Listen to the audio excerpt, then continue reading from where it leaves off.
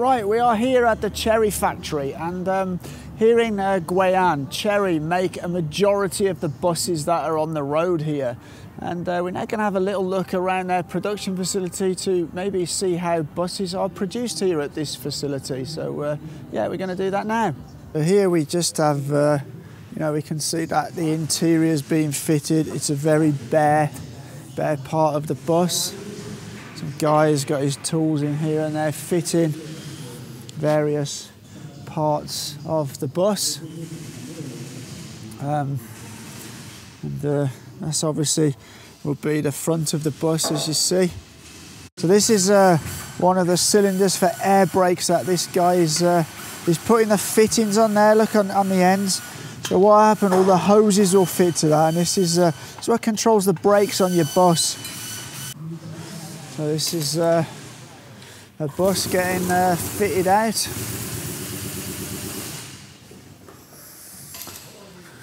And you can see from here, this is the, uh, the outside. They're in various stages of production. You can see some bus windscreens over here. And uh, the guy's carrying some of the, uh, the side glass here. So yeah, it's uh, moving it around, a lot of glass going on here. And uh, oh, this has got different logos on. So they obviously made buses for various different provinces and each one will, I guess, will have a different specification. I'm just gonna go and have a, a bit of a look in here. Yes, this is, uh, this is quite a small bus and uh, it's getting an interior fit. It's obviously not, it's obviously far off from being finished but it's uh, it's getting an interior fit. Oh, so this is a this is a bus that will seat 20 people. This looks like some uh, shock absorbers here and some sort of uh, pump systems here at the top. Yeah, the uh, guys are fitting all the uh, the fittings. Hello. Hello. so it's uh, oh, there's a lot of electrics going in here by the looks of it. Look. Just fitting, fitting electrics in there. And we'll move on a bit further. As, as you go down here, they're getting more and more complete. Another guy here, look, doing his bit. Oh, well, this is the this is the apartment where the, uh, the the motor will go, I guess. Oh no, maybe not. I don't know. A lot of electrical stuff going on there. Apparently, from what I understand, these are one of the uh, the large bus manufacturers here in China. So uh, this is, uh, obviously you can see a lot more being fitted into here now. This guy is putting, wiring up a load of the electrical circuits, tidying up the, uh, the pipes. And again, you got a guy here um, fitting some uh, electrical stuff. These are all electric buses, as I've said. We'll continue down here and as, as we come further down, there's more and more stuff getting added.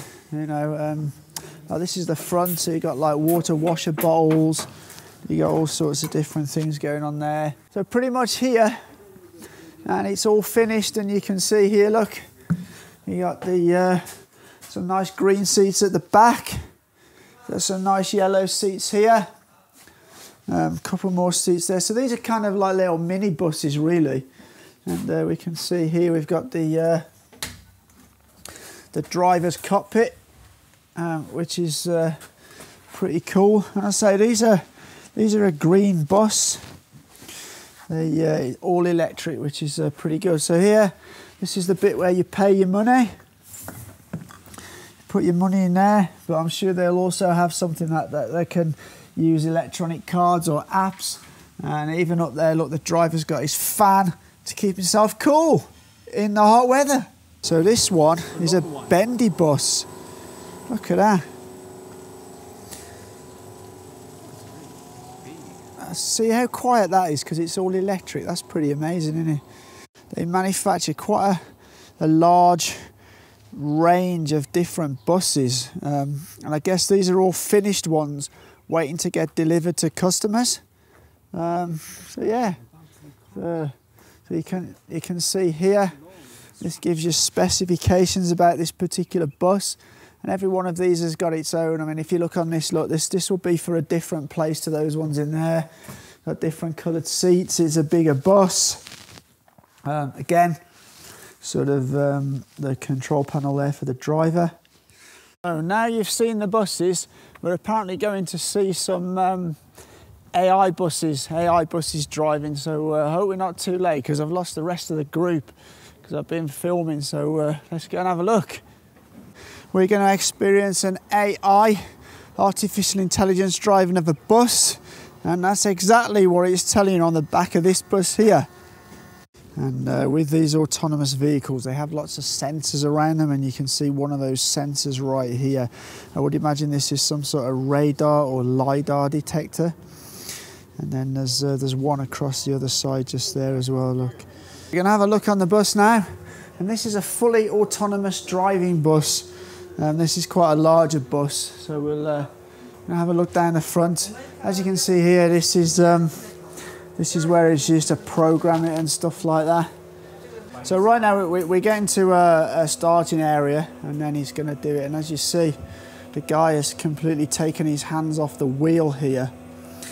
And uh, as I said with the gentleman, they are still in the development and testing phase because the road infrastructure is not yet ready for fully autonomous. But I think they actually have autonomous in kind of airports where they're, they're not necessarily on public roads. And you can see uh, the guy is not actually touching the wheel or the pedals. His feet are completely off the pedals altogether. And his hands are completely off the wheel.